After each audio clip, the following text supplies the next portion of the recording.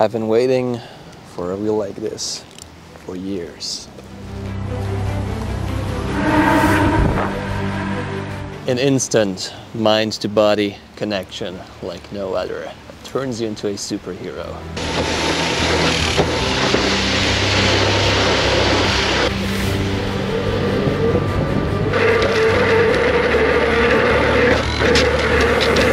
An extremely exciting wheel. It will also tell you where the limit is.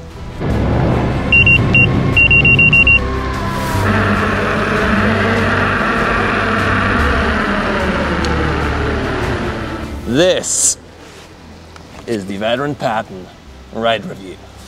So let me tell you more about it.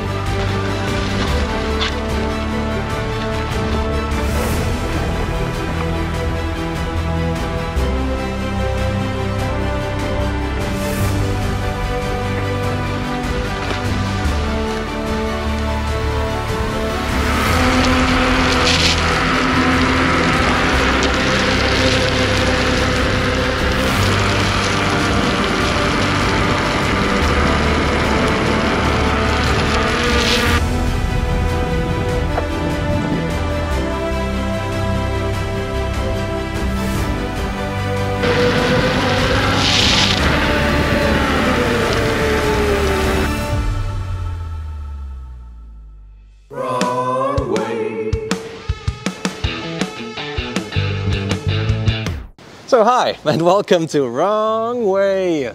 I hope you like this little intro. It is pouring, powering down today in the beautiful city of Warszawa.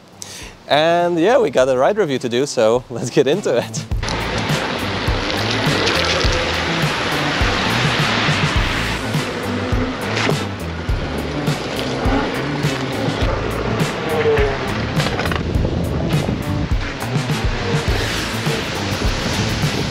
First up, of course, huge thanks to Myewheel for providing me the Veteran Patton for testing purposes. And if you want to get a wheel like that or any other wheel in Europe, then feel free to use my discount code below for additional 5% off. I actually changed my uh, way of cooperating with Myewheel right now, so I get sort of a standard sponsorship I get every month, so I don't get kickback from those orders. Um, but I still get money to do the stuff I like. So let me know what you think about it. Just wanted to keep you guys updated about this.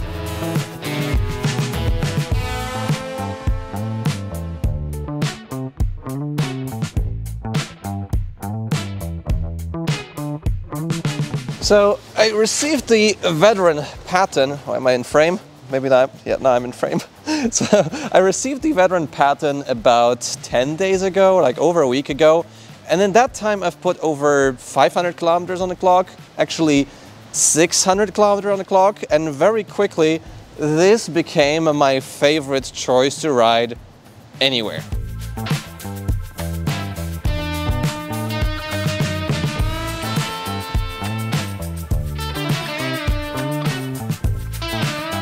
And keep in mind, this is not a full review yet. This will come to my channel, so stay subscribed for that. But I wanted to do this ride review a bit differently, just because, well, I bought a new gimbal, so I needed to test it out.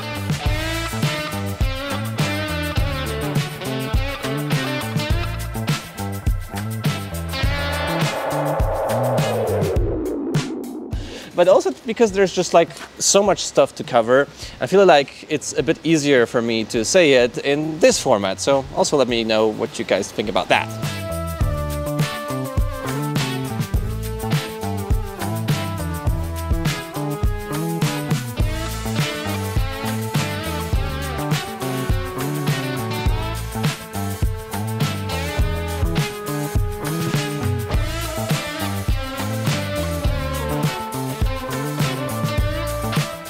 And the first thing I wanted to cover is how agile it is, how light it feels, and how well controllable the Veteran Patton is. So Actually, I've been wanting to ride a 16 inch or in this case 18 inch wheel with a 12 inch rim with a high torque motor for years now. There's always been high torque wheels with a big tire, so 20 inches, 14 inch rim out on the market, but there never really was a, a high torque option with this smaller wheel. And now we have it and it's phenomenal. Five minutes after we're gonna repair the... I think I need to set the limit a bit higher.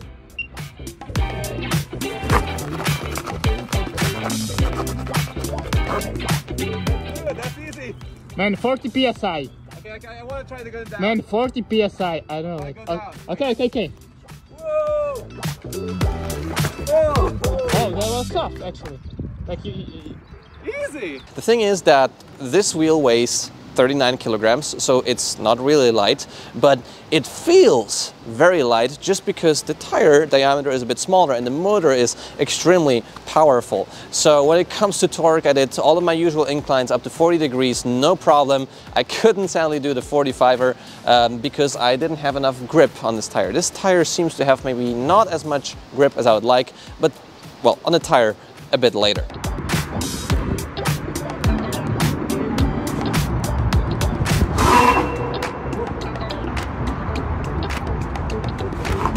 Should I help you somehow?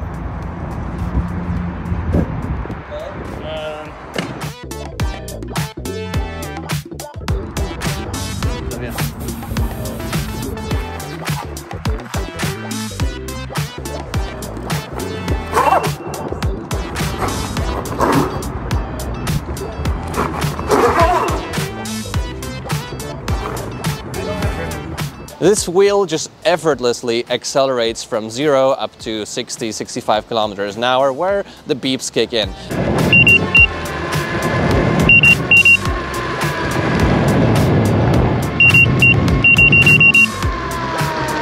And the special thing about this veteran wheel or Leaperkim wheel is that this is the first wheel by veteran that has progressive tilt back based on PWM. PWM is essentially a metric which means like how much power you're using compared to what the battery state is and it works.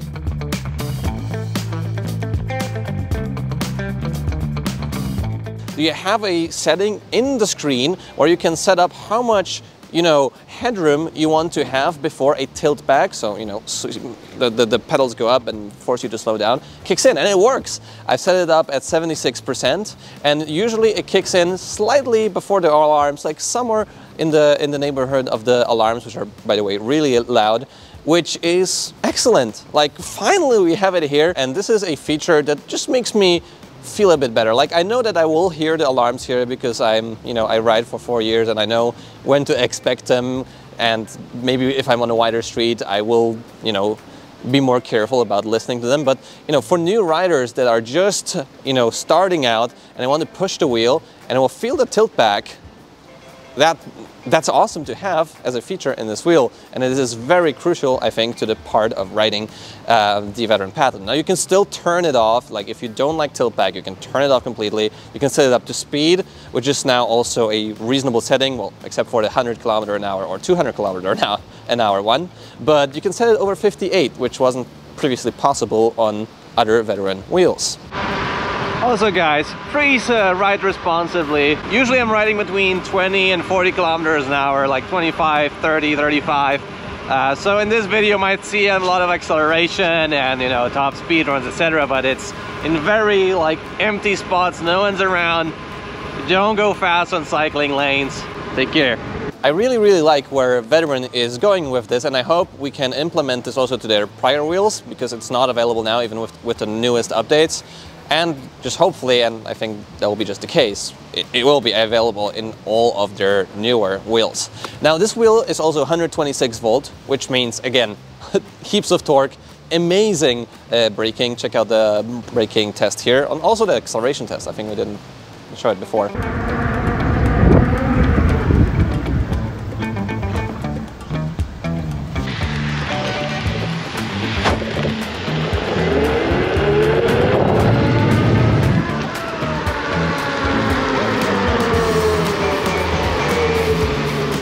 Means that we can have both. We can have extreme torque and extreme speed. For me, um, those metrics are totally more than enough.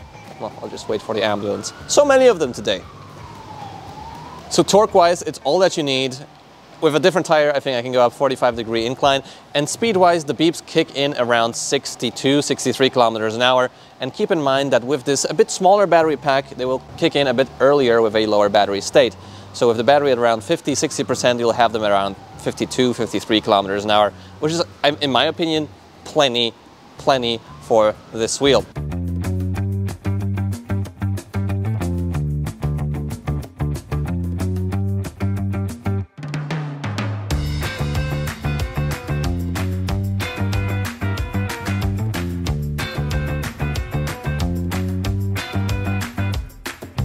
Talking about the battery, uh, I did a range test on this wheel and it turned out to be amazing. Maybe I'm too excited about this wheel, but you know, it's it's it's just what I think when what I feel about it, both connected. So the range was around 95 kilometers, which is tons more than the Kingsong S22 and I think that it is actually more efficient than the S22. So I could go about 86 kilometers or so in usual modes, and then in a low power mode, which you can um, set in the screen. By the way, don't use it too often because you'll uh, shorten the lifespan of your battery. Um, you can go a additional nine or eight kilometers, which is really great. And it's not like limp speed, it's 20 kilometers an hour. And again, tilt back works great um, to keep you from overpowering the wheel then. Uh, the only thing that is slightly annoying is that the beeps are still there, like the beep beep. When you go uh, at low battery state, not sure if it's necessary, not sure if it's needed so loud, but it's here. I guess it's a reminiscent of the Begode software. And honestly, I think that is like for the city use, that's pretty much all the range I need. Like I ride usually around 50, 60 kilometers and I want to go back home and I can charge up. And honestly, all the time, well, the past week, we'll see how it will be in the future, I've been just taking this because it's just so nice to ride. And then even with the stock charger, which is six amps, I can charge it up fairly quickly. Uh, it's three to four hours and I never have it, you know, at 0%. So I never really feel the urge to have a lot more battery. And I know with more battery, obviously more range, cool, but then you also get more weight, and that is less cool, obviously. But let's talk about the agility and turning of this wheel. And I think this wheel just hits such a sweet spot probably for me personally as a rider, but maybe you'll like it as well. So it's a lot more comfortable than a non-suspension wheel. It is not as comfortable as the Sherman S. It's not like a couch. It's just like a nice sporty slash off-roady setup with the suspension that it has and, and the tire that it has. So I can feel the turns really well. It doesn't like jitter around, it doesn't move around. I feel like when I'm riding the Sherman S and I'm still like checking if that is the case, I feel like the tire just, or the wheel assembly just moves around a bit and I can never really tell how well I will turn. Where will the Sherman S guide me? And with this, with the Patton, I am extremely precise.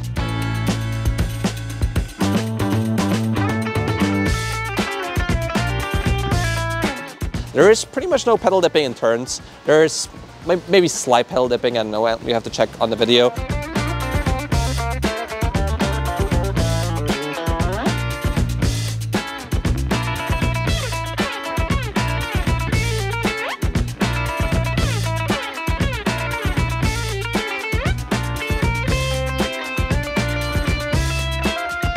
Slight pedal dipping when you accelerate.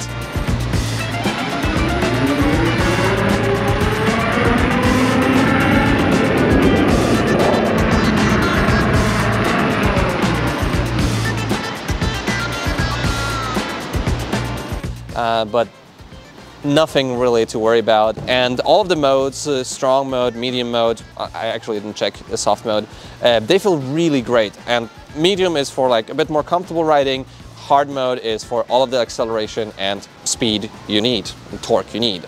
And in turns, it's very predictable. It, um, the tire tread uh, is not, you know, a sports tire, is not a street tire, so the wheel leans a lot in order to turn. But the tire is still, in my opinion, a lot more predictable and thicker, so you're not as keen to damage the rim than the S22. I do prefer this tire a lot to the S22 Pro tire. However, if you want to have the ultimate nimbleness, then you'll need to install a street tire on it. And maybe that's something what I'll do because I will actually get one of those. I wanted to perhaps buy one, but I reached out to LeaperKim and they will let me have one. So very excited for this. And by the way, if you think, oh, he got a wheel, so now he'll say nice things about it. Well, I also had the Abrams. I got it for free, and where is it now? I just gave it back. I didn't even sell it. But let's talk about suspension. And yes, it is fairly easy to bottom this thing out. But with my riding style that I've adopted from riding non-suspension wheels, if I just do a nice preload before the bump, like, come on! Like, what's happening? Guys, I'm recording a video. So if I preload the suspension a little bit uh, before a bump, and yes, I have it on max compression, um, and I have the 62 pound shock, so I will actually get the 66 in the end, and I hope it's uh, a bit harder to bottom out. Um, I don't get the clonk at all.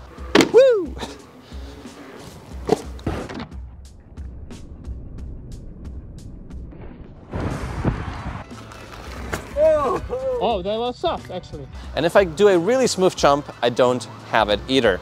I was also doing quite a bit of jumps on the Veteran Patton and it felt really great. Like the torque, the weight of this wheel, the weight distribution, everything is awesome. Uh, one uh, note though, I did have a landing cutout, uh, but um, I think if it didn't cut out, I would just like fry the board because there's limits to these machines. Those machines are not meant to be jumped. So when I was doing a really big drop, uh, went after landing way too far, and I believe I was braking then to like try to brake from the position in the air. I just landed super hard, bottomed out the suspension super hard, and I just like turned off and I felt my butt. Um, but as said, maybe it could be prevented with uh, high discharge batteries or more capacitors. I know, but I can't be really mad at it because I think that otherwise I would just fry it or something else bad would happen. So that's that. But yes, I think it's a bit easier to bottom out even than the Sherman S. Uh, because it has one centimeter less of travel and then a S22 in its highest possible setting. But the S22 is kind of hard to feel out when it's bottoming out, so not really sure, but this is just feels so great with the suspension. The suspension is smooth. It's, I think, not as comfortable also as, um, you know, air, air shocks, air suspension. So you do still feel the road, but it just works so well. I don't know, I just look at it, I do the turns, I do jumps, I ride it everywhere, and this is like pretty much a perfect setup, minus the bottoming out part uh, that I could have on a EUC. When it comes to the pedal height, those pedals are actually not as high as the Sherman S, so it's a bit nicer to ride uh, um, around the city, you feel a bit more planted, it's not as high as a wheel to just step on and off from it in the city, but it's not as low as the Sherman Max, uh, which, you know, it's just you hop on, hop off, never a worry. But I think this is a very nice sweet spot for both off-roading and street action. Now off-road, of course, you would like to have it higher and the pedals are not height adjustable here, so that is a bummer. Uh, if you like doing off-road, you might want to have a bit more clearance on your wheel. But with this torque, with this like agility and nimbleness, it's still a super fun wheel to take out off-road with heaps of torque. Amazing fun. In the end, the Patton is pretty much the weapon of choice for, for now, for me, just because I can do everything with it. It's like not too heavy to be annoying and feeling like a couch and that I have to like force it around everywhere. Uh, and it's uh, also smaller than most other big suspension wheels, so it doesn't feel as you know overwhelming to get into a store and just leave it somewhere. The trolley handle works also surprisingly uh, well on this wheel. I can do stairs with it, I can do jumps, but then if I ride around and want to do turns, I want to have fun, and I also just want to go from point A to B, this just does it all so well. And even the pedals with those milled-in studs and a little basin for dirt turn out to work not as bad actually. They work a lot better than on a Sherman and I still can have a fair amount of grip on those. So I still could have better pedals like NyloNove, which will work better than those. But these work actually surprisingly nice. But in the pedal department, still no angle adjustment, no height adjustment. This is pretty annoying that there's so many ambulances around. And with that said, I hope that you enjoyed this uh, little ride review on the Veteran Patton. And um, if you're still here, leave a like on the video, subscribe to see more content like this. I'll see you in the next video. See you soon.